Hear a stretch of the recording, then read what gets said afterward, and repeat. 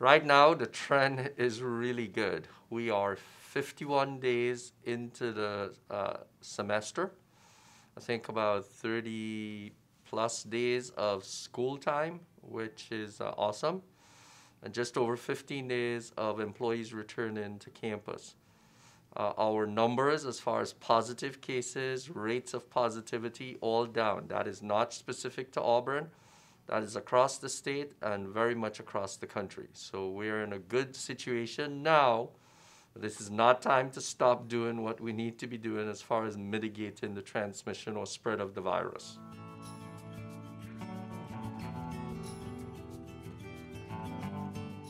It's an unknown.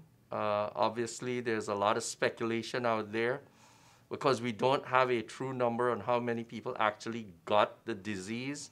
We have numbers on how many people got vaccinated.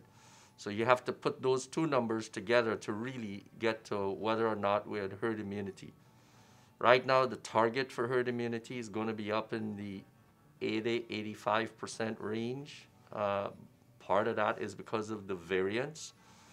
Uh, I'm sure we're not even close to that right now, but we're probably well above the 35%. So somewhere in between there is the right number.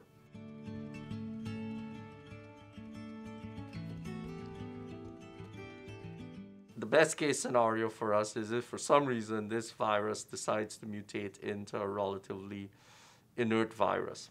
You know, that's, that's a miracle if that could happen. The reality is the virus is still contagious. There's still a large percentage of the population that is susceptible to the virus.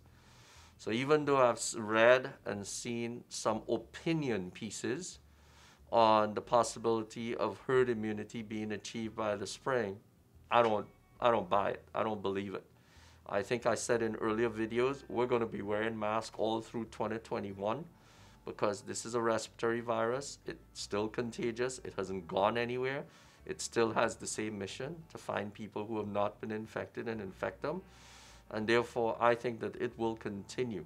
Now, because of vaccination, because of a lack, because of warmer weather coming, because of a lack of uh, holidays where people and families are gathering, I think we will see a drop in cases as we go through. But remember, last spring and summer, this virus did not show a lot of seasonality to it. Everybody was optimistic that when the warm weather came, the virus would kind of decrease or disappear. It didn't happen. In fact, it took off. and it was because, again, of gatherings and, and, and uh, long weekend holidays that caused that to happen. So um, I'm not as optimistic, but it's an opinion running out there.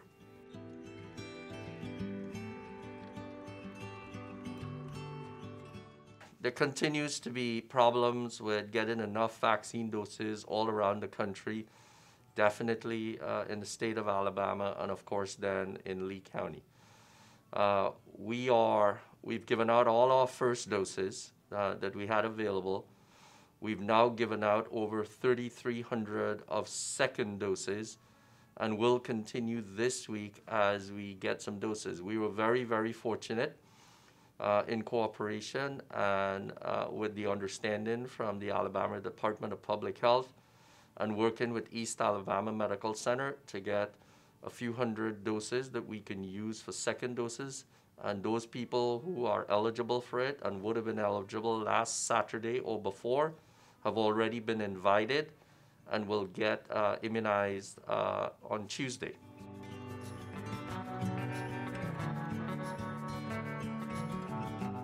what's the right timing for the second dose, specifically the Moderna vaccine.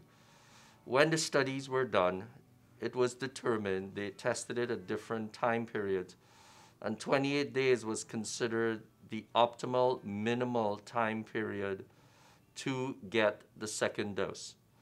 The data goes out to at least uh, six weeks, but beyond six weeks, there really isn't any data.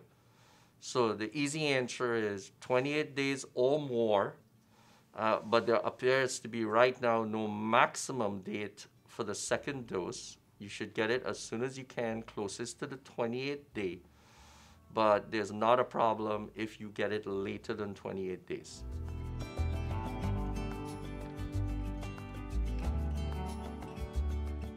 after you get your second dose, and approximately two weeks after that second dose, is when you are determined to have the maximal immune response to the vaccine.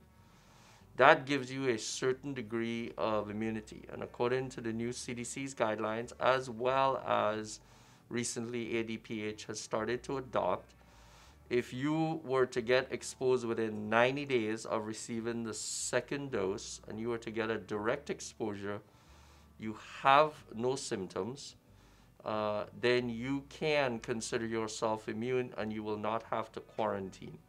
So there is a 90 day window. More than likely, that 90 day window will get expanded as more scientific information comes out.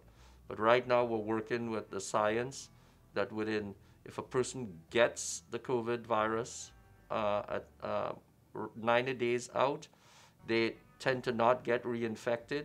Very, very, almost no reinfection rate. So therefore, that's the belief that there is enough immunity for 90 days. Again, expect that to go further out with time.